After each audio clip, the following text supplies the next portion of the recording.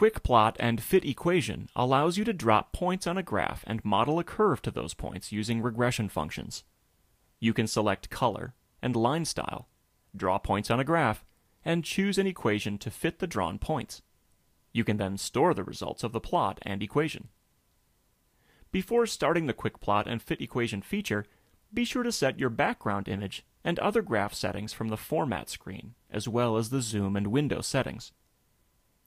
When you're ready, press the Stat button and use the arrow keys to move to the Calc section of the menu. I'll press the up arrow key to jump to the bottom of the menu to highlight the Quick Plot option, and then press the Enter key. We'll jump out to the graph, and you'll see the instructions and coordinates at the bottom of the graph. If I want to change the color of the points, the Style key is available by pressing F5. It is only available until after you drop the first point.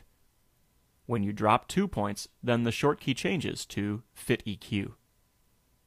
I need to drop some points. In this case, I'd like to drop three points that approximate the curve of the water coming out of the faucet.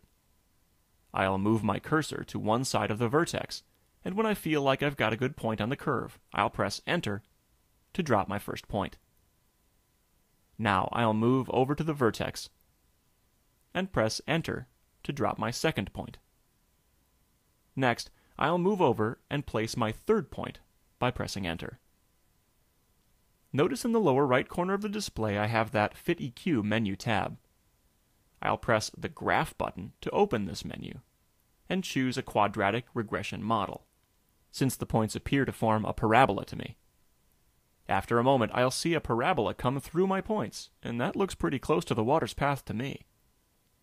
Above the graph, I'll see the regression equation that created the parabola.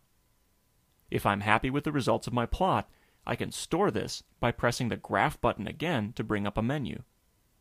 Using the defaults, it'll store my x variables in L1, my y variables in L2, assign it to the statplot1 in the calculator, and use the y variable y1 for storing the regression equation. I'll press enter a few times to accept these defaults and store this information into plot 1, where I can refer back to it and perform additional tests and interpret the data.